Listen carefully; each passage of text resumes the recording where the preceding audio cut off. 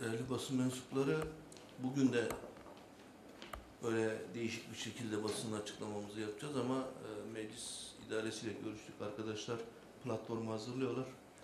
Muhtemelen bundan sonraki süreç daha sağlıklı bir şekilde yapacağız. Arkadaşlar ilgilendiler, onu çözüyorlar. O yüzden e, bugünü böyle idare edeceğiz. Bu basın toplantısını e, yapmamın Zın gerekçesi aslında 2018'de meydana gelen iş cinayetleri üzerine e, bir değerlendirmede bulunmaktı. Ama acı bir tesadüf.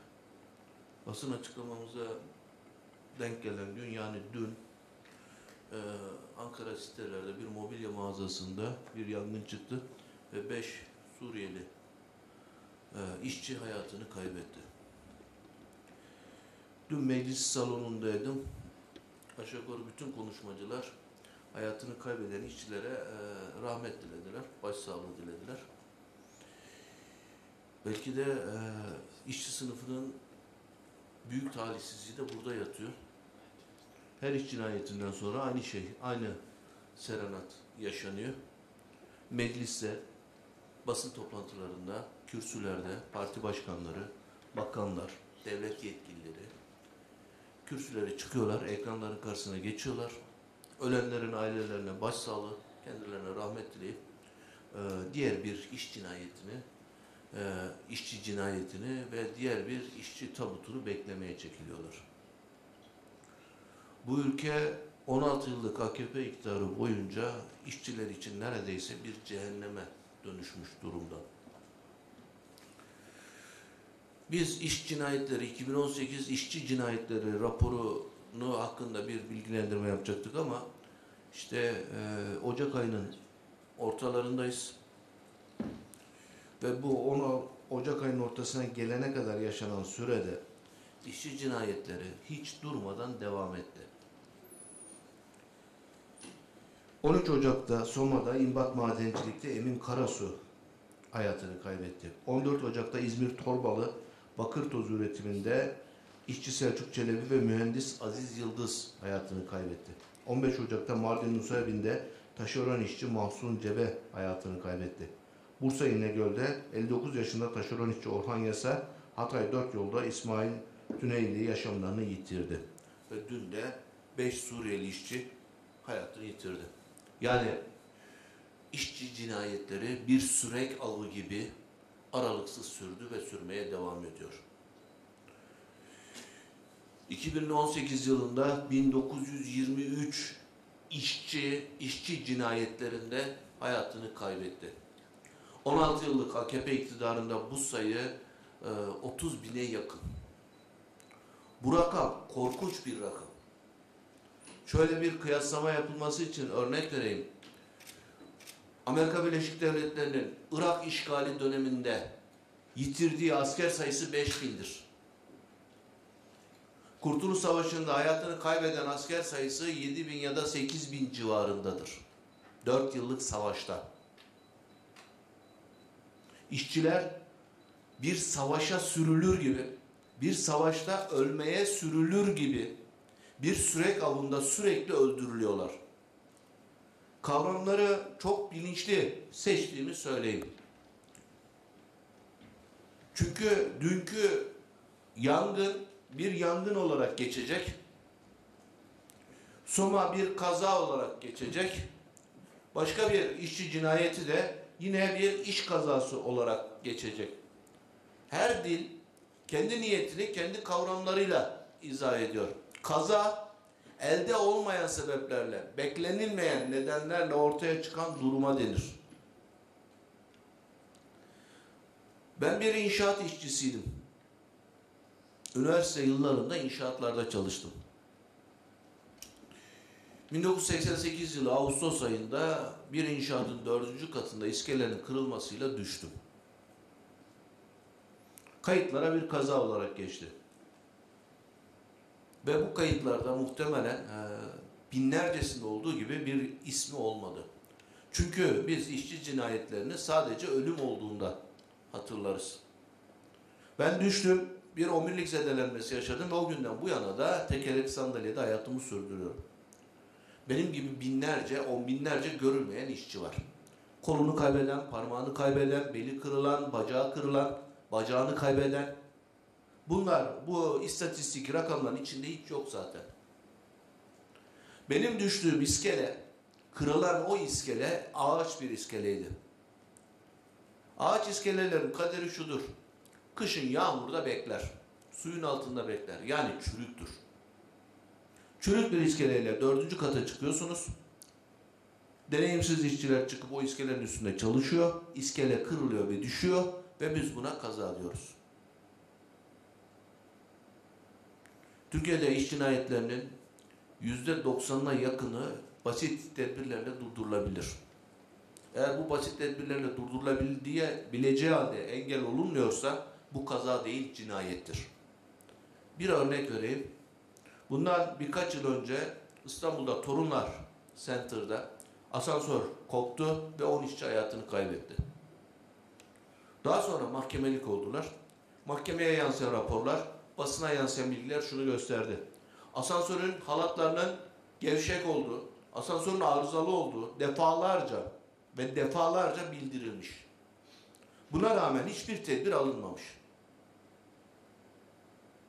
Yani aslında hükümetin iş cinayetlerinde kullandığı kavramla fıtrat ve kadere bırakılarak yaşarsa yaşasın, ölürse ölüsüne bırakılmış.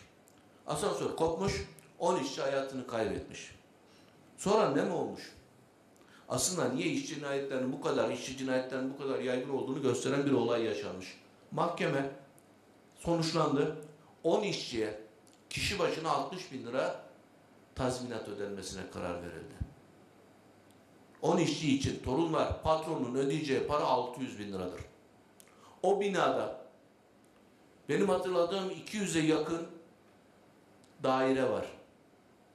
Ve bir tane dairenin maliyeti, satış fiyatı 1 milyon 400 bin liraya yakın. Yani torunlar patronu 10 tane işçinin canını bir dairenin yarı fiyatıyla ödeyebiliyor. İşçi canı bu kadar ucuz olduğu sürece de işçiler ölmeye devam edecek. Çünkü şunu yapıyorlar. Kan parası ödüyorlar. Eskiden kan davasında olurdu bu. İnsanlar gider e, kan parası öder barışırlardı. Şimdi patronlar sanki bir kara bilim kurguda gibi parasını ödeyip işçi alına çıkıyorlar. İşçiler ölüyor. Ülkemiz işçi cinayetlerinde dünya üçüncüsü, Avrupa birincisi. İşçi intiharlarında da dünya üçüncüsü, Avrupa birincisi. İşçiler ya işçi cinayetlerinde ya geçim nedeniyle intiharda ya da doğal olarak parasını ödeyemedikleri için gönderildikleri savaş meydanlarında hayatını kaybetmeye devam ediyor. Biz işçi cinayetleri hakkında bir duyarlılık yaratmak ve bunu kamuoyuna duyurmak için elimizden geleni yapıyoruz. Bunun yeterli olmadığını da biliyoruz. Bu yüzden de işçi cinayetlerinin nedenleri ve nasıl durdurulabileceği konusunda birkaç cümleyle ben basın toplantımı bağlamak istiyorum. İşçi cinayetlerinin Türkiye'de bu kadar yaygın olmasının temel sebeplerinden birisi taşeron sistemidir. Taşeron sistemini anlamanız için size çok basit bir örnekle izah edeyim. Geçtiğimiz günlerde Ataşehir Belediyesi'nin önünde bir işçi alacaklarını alamadığı için bedelini ateşe verdi. Ben hastaneye gittim. Sonra ailesiyle de görüştüm. Ve şöyle bir bilgi edindim. Bu işçi Ataşehir Belediyesi'nin verdiği bir ihalenin yürüten bir taşeron şirkete bağlı. Ama o taşeron şirketin üçüncü taşeronuna bağlı. Yani aslında ana patron, büyük patronlar Koli, Cengiz ve diğerleri Limak ve diğerleri Ağoğlu ihaleyi alıyorlar bir taşerona veriyorlar. O taşeron başka birine veriyor. O taşeron başka birine veriyor. Ve bizim işçi işe girdiğinde aslında e, suyunun suyuyla karşılaşıyor. Ve her biri kendi pastasını aldığı için kardan en alttakine en düşük düşüyor. En düşük ücretle işe alan en alt taşeron işçi güvenliği tedbirlerini almaya kalktığında zarar eder. Bu işleyişin doğasıdır. İki, ihaleyi yetiştirmek için ısrar ediyorlar. Biliyorsunuz viyadük çöktü. Üç işçi hayatını kaybetti. İlk söylenen şuydu. Gece gündüz çalışıyoruz. İhale yetişsin diye. Üçüncü havalimanında işçilerin ölmesinin sebeplerinden biri buydu. Yetiştirecekler diye 29 Ekim'e gece gündüz çalışıyorlardı.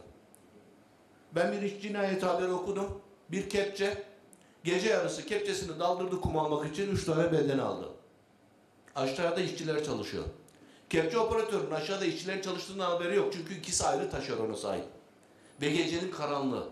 Kepçe aşağıda kumun altında kimin olduğunu, kimin olmadığını görmüyor bile. Kepçeyi daldırıyor. Şansınız varsa kurtulursunuz. Yoksa ölürsünüz. Bu yüzden bu ülke bir işçi cehennemidir. Ve bütün tüneller ve bütün inşaatlar işçi kanıyla sulanıyor. Eskiden kurban keserlerdi. Bu her tünel açılışında, her temel atılışında şimdi işçi kanı döküyorlar. Daha ucuza geliyor. Ve daha kolaya geliyor. İş cinayetlerinin önlenememesinin sebeplerinden birisi devletin gerekli yaptığı yasal düzenlemeleri takip etmemesidir. İşçi güvenliği patronun insafına bırakılmıştır. İş güvenlik uzmanları patronların emrine bırakılmıştır. Devlet bu konuda yeterli denetimi yapmaz. Ve cezalandırma mekanizması zayıftır. Peki nasıl engellenebilir ve neler yapılmalıdır? Birkaç başlıkla bunları söyleyip bağlamak istiyorum. Bundan uzunca bir süre önce dünyada işçi cinayetlerinde birinci olan ülke Çin'di. Çin hala işçi cinayetlerinin, işçi ölümlerinin yoğun olduğu ülkelerden birisi. Çünkü işçi emeği çok ucuz orada da. Ama Çin işçi cinayetlerinde ciddi bir yol aldı. Bunu sağlayan temel düzenleme ise şu. Biliyorsunuz Çin'de denetim doğrudan devlet tarafından yapılır. Ve devlet partiyle çalıştığı için partinin sorumluları tarafından yapılır. Çin hükümeti işçi cinayetleri yaşandığında ana patronu cinayetten denetlemekle sorumlu olan bütün görevlilerde cinayete yardımdan yargılamaya başladı. Cinayetler bayağı azaldı. Bizde ana patronların yargılandığı bir tane dava yoktur. Torunlarda işçiler ölür, Soma'da işçiler ölür. Sorumlu kimdir biliyor musunuz? Oradaki işçi güvenlik uzmanı, oradaki formel, oradaki mühendis, oradaki ustabaşıdır. Yani aslında işçi cinayetinden bir başka işçiyi sorumlu tutarlar. Patrona kimse dokunmaz. Yargılanamaz bile. Para bile ödemez. E böyle oldukça işçiler ölmeye devam eder. Önerilerimiz var. Bir, taşeron sistemi kaldırılmalıdır. İki, işçi cinayetlerinde ana patron sorumlu tutulmalıdır. Ve cinayetten yargılanmalıdır. Üç, işçi cinayetlerinde ölümlerin sebeplerinden biri gerekli tedbirlerin hiç alınmamış olmasıdır. Tedbirle anlatacağım şey ise şu. Size iki tane örnek vereyim. İzmir'de en fazla işçi ölümünün yaşandığı yerlerden birisi Aliağa'da kurulu tersanelerdir. Aliağa'dan Bornova'ya yaralanan işçi götürülür. Çünkü Aliağa'da tam teşekküllü bir hastane yok. Her kazadan sonra işçi taşınır ve yolda ölür. Benzer şeyler Gebze içinde böyledir. Benzer şeyler birçok içi şöyledir. Çok somut bir örnek vereyim. Soma'da madende göçük oldu. 300'e yakın işçi öldü. İşçi ölümleri Soma'da en fazla yanıktandır. Madendeki en büyük şey odur. Soma Devlet Hastanesi'nin yanık ünitesi yoktur. Madem ki böyle basit. Bütün işçi havzalarında işçi uzmanlık, iş cinayetlerinde, iş kazalarına uzmanlaşmış hastaneler kurulmalıdır. İş güvenlik uzmanları devletin denetimine alınmalı. İş güvenliği denetimi doğrudan devletin sorumluluğu altında yürütülmelidir. Ve meslek hastalıkları kayıtlara hiç geçmeyen meslek hastalıkları sosyal güvenlik kapsamına alınmalıdır. Ne yazık ki hala değil. Silikozisten yüzlerce insan hayatını kaybetti. Meslek hastalıklarından madenlerde ve başka yerlerde çok insan hayatını kaybediyor. Biz silikozis deyince sadece kod taşlama işçilerini aklımıza getiriyoruz. Geçen gün bir işçiyle görüştüm. Karısı silikozis, çalıştığı yer diş protez bölümü. Diş protezinde çalışıyor. Aklımızdan geçmez. Silikozla yakalanmış. Yüzde altmış engelli. İş bulamıyor. Biz HDP olarak iş cinayetlerinin engellenmesi için işçi sınıfına ortak bir mücadeleye de çağırmak istiyoruz. Yaşanan iş cinayetlerini protesto etmekle iş cinayetlerini durdurma şansımız yok. Yeni bizim belki de en so- temel sorumluluğumuz yaşayanların ölmemesi üzerine kurulmalıdır. Bu yüzden de bütün sendikaları, bütün kitle örgütlerine ve bütün işçi örgütlerini, siyasi partileri yeni iş cinayetlerinin yaşanmaması için ortak bir mücadeleye, gerekli yasal düzenlemelerin yapılması için mücadeleye, yapılan yasal düzenlemelerin de hayata geçirilmesi için gerekli denetim mekanizmalarının kurulması için mücadeleye çağırıyoruz. Birlikte mücadele edebilirsek bu sorunu çözebileceğimize inanıyoruz. Teşekkür ediyorum. Sorunuz varsa alalım.